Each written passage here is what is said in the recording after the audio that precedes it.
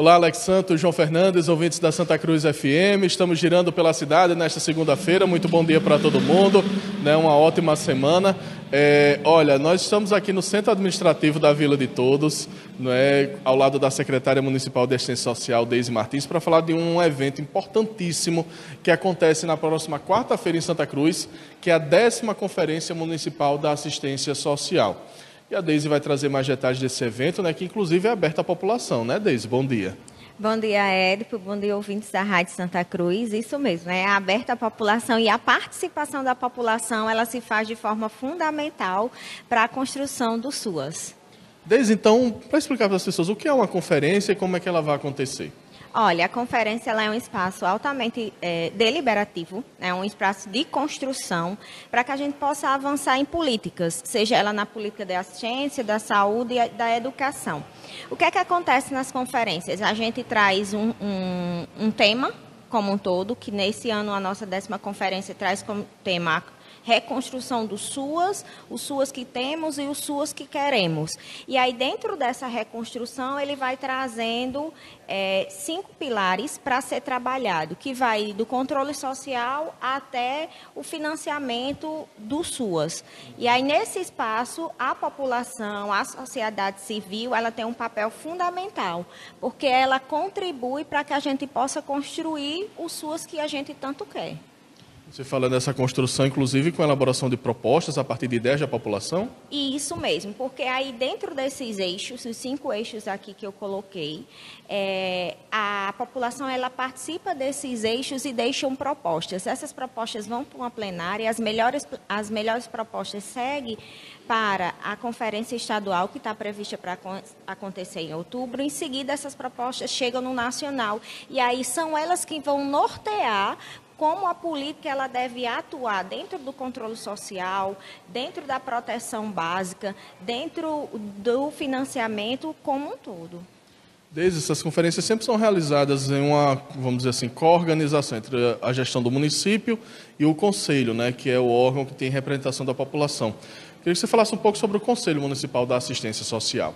Isso. É, Para que o município ele seja reconhecido, eles, a gente usa três siglas, que, é, C, que são CPF, né, que se chama Conselho, Plano e Fundo. Então, o município de Santa Cruz ele tem um conselho ativo e participativo, que faz toda essa parte de controle social. Esse conselho ele é formado por membros da sociedade civil e da administração. Dentro dele a gente tem associações rurais, é, tem associações como a APAI, né, tem é, representatividade dos usuários da política de assistência social. E aí nessa construção desses membros do conselho, eles realizam e, e na verdade, toma a frente para a conferência municipal. E aí a, a, chamada da conferência municipal, ela acontece via Conselho Municipal de Assistência Social e Prefeitura Municipal. Com relação, desde a importância de um momento como esse, como é que você faz uma avaliação né, de um momento onde a população pode participar, onde o Conselho participa, onde a gestão participa, discutindo essas propostas?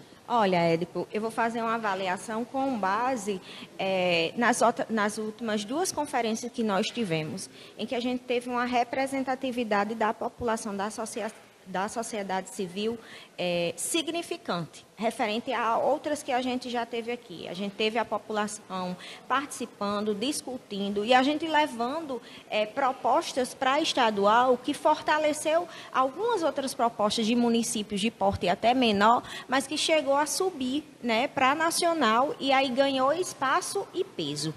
Quando a população participa, ela está ela tá tendo voz, ela está dizendo, opa, o SUAS que eu quero é esse. É, e aí a gente vai refletir qual é o SUAS que eu tenho hoje. A gente tem um SUAS de uma população, para atender uma população como Santa Cruz, de 38 mil habitantes, né, basicamente. E aí a gente tem dois CRAs. Dois CRAs conseguem atingir e aí a gente vai assim por território. É, a gente tem um CRAS que funciona em uma parte do centro. Ela consegue atingir é, de de forma qualificada a, a uma região, a gente não tem CRAs volantes. Será que a gente consegue atingir numa reflexão toda a zona rural?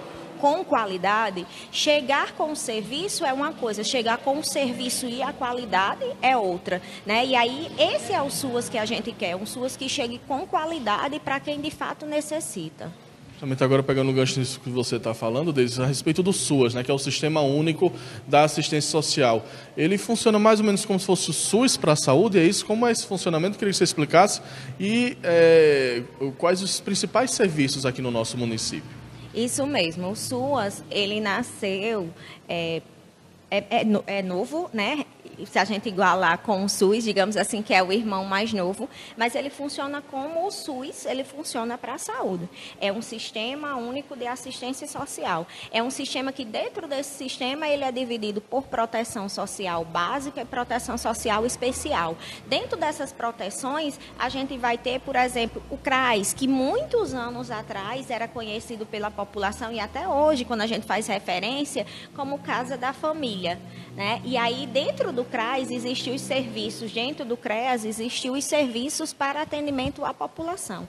Hoje, no nosso município, a gente atua com proteção básica e proteção especial. Além dessas proteções, a gente tem também os programas, e aí a gente traz o cadastro único e o programa Bolsa Família, como transferência de renda. Dentro do cadastro único, o inúmero leque né, de vantagens que ele pode proporcionar a seus usuários. A gente tem avançado, Édipo, mas a gente é, sente que a gente precisa avançar cada vez mais, porque as demandas elas são outras. Quando o município de Santa Cruz ele foi contemplado com dois CRAs, ele tinha um porte para dois. Hoje a gente já vê uma necessidade de um terceiro. E a gente precisa avançar nesse sentido para que a gente possa prestar esse sistema único com qualidade a quem precisa, sabe? E aí a, a, tem muito essa questão, ah, a assistência é para pobre. Não, a assistência social, ela está lá prevista na LUAS, é para quem ela de fato necessita. Que vai da mulher violentada até quem está sem a falta de alimento. Bem, Deise Martins, nós queremos agradecer sua participação, informações importantes e pede para reforçar o convite né, da conferência na próxima quarta-feira aqui em Santa Cruz. Muito obrigado. Eu quem agradeço mais uma vez e em nome do Conselho Municipal de Assistência Social e a Prefeitura Municipal de Santa Cruz, convido toda a população santacruzense a estar conosco no próximo dia 18, no auditório do Instituto, a partir das 8 horas, a, a, é, na, dia 19. dia 19, a partir das 8 horas da manhã, para que a gente possa construir o SUAS numa perspectiva do que a gente tem e do que a gente pode ter para que a gente possa avançar. A participação de todos os santacruzenses, ele, ela é fundamental para que a gente possa fazer esse processo de reconstrução. Agradecemos mais uma vez a Deise Martins, secretária municipal de assistência social. Então, quarta-feira fica esse convite para toda a população participar lá no auditório do Instituto Conego Monte, às 8 da manhã, da décima Conferência Municipal de Assistência Social. Voltamos aos estúdios.